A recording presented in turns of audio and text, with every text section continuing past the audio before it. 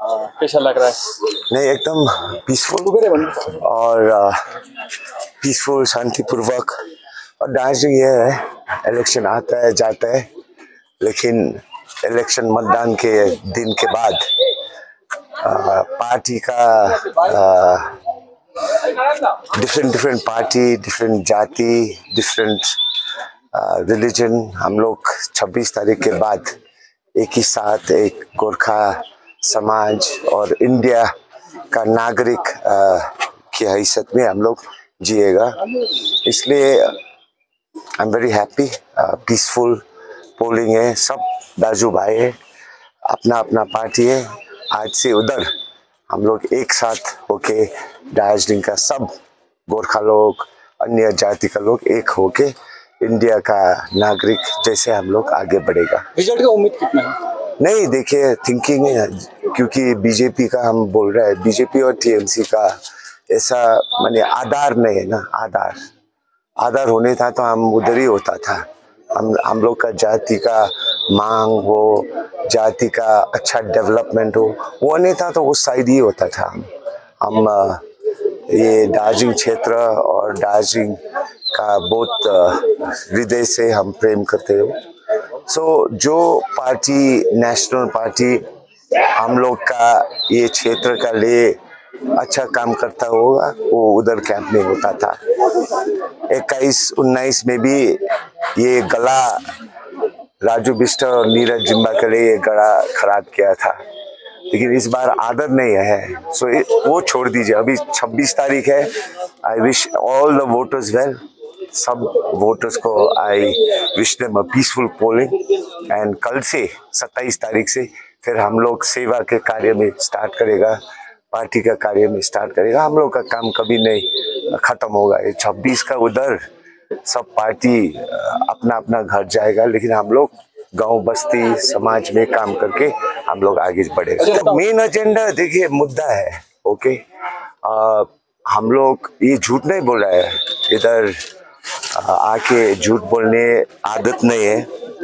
अनि और आ, क्या है देखिए पंद्रह साल बीजेपी ने कुछ नहीं किया। सिर्फ़ ब, बड़ा बड़ा बोल के बड़ा बड़ा आश्वासन करके और टीएमसी और बीजेपीएम भ्रष्टाचार में टेट एग्ज़ाम का हम लोग केस डाला है। चौदह हज़ार गरीब भाई बहन को चौदह हज़ार को एकत्रित करके फेक टेट एग्ज़ाम किया है। उसका प्रूफ है और ये हाईकोर्ट में हम लोग जा रहा है। सो so, हर एक इलेक्शन में घोटालाबाजी झूठा आश्वासन इससे मुक्त होने के लिए देखिए कांग्रेस स्पष्ट है। 18 वर्ष आगे 2007 में हम लोग सिक्स शेड्यूल बोल रहा था। उस टाइम आदमी लोग नहीं गोरखालैंड गोरखालैंड गोरखा अठारह साल हो गया लेकिन हाथ में कुछ नहीं मिला अभी तक अठारह साल में। कुछ नहीं देना है। सो so, इस बार हम फिर बोल रहे हैं कि नहीं सिक्स शेड्यूल ग्यारह जनजाति और ये जो लाल कोठी है ना हम सभासद है लाल कोठी में। लेकिन लाल कोठी इतना बेकार का व्यवस्था है आम आदमी का उत्थान कर नहीं सकता है। तो इसलिए हम लोग सोच रहे हैं कि सिक्स शेड्यूल ये लाल कोठी में आने से, देखिए बोर्डो टेरिटोरियल काउंसिल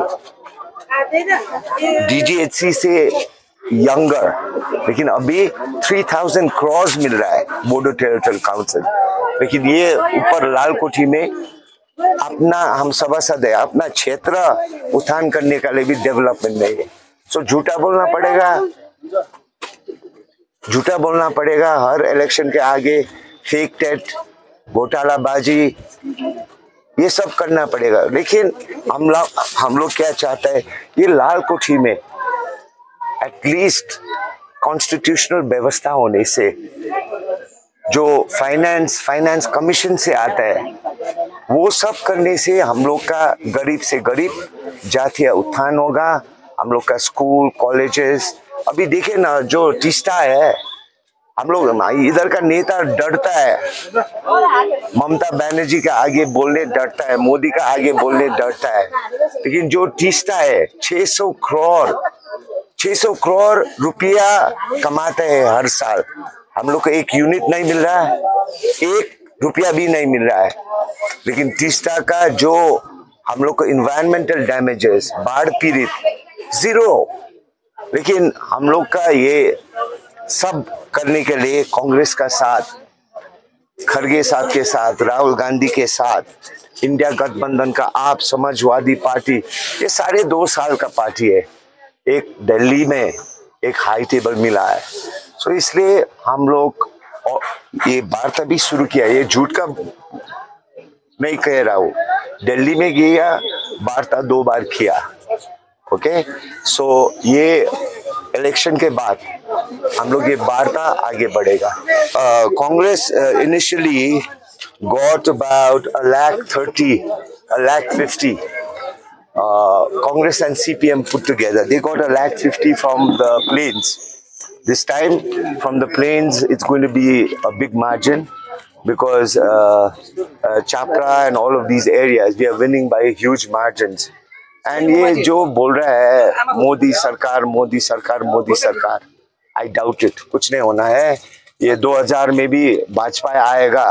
पोखरान ब्लास्ट ये सब पोखरान ब्लास्ट और कारगिल वॉर इंडिया शाइनिंग 20 साल हो गया। लेकिन 20 साल में जो आएगा आएगा बोल रहा था वाजपेयी उस टाइम दो बीस साल आगे हट गया। और अटल बिहारी वाजपेयी हार गया और Manmohan Singh. So this time ये जो बोल रहा है, ये हो रहा है, वो हो रहा है, लेकिन ग्रास रूट में कमाई नहीं है, खर्चा कितना बढ़ गया है। दिस इज़ और बेरोज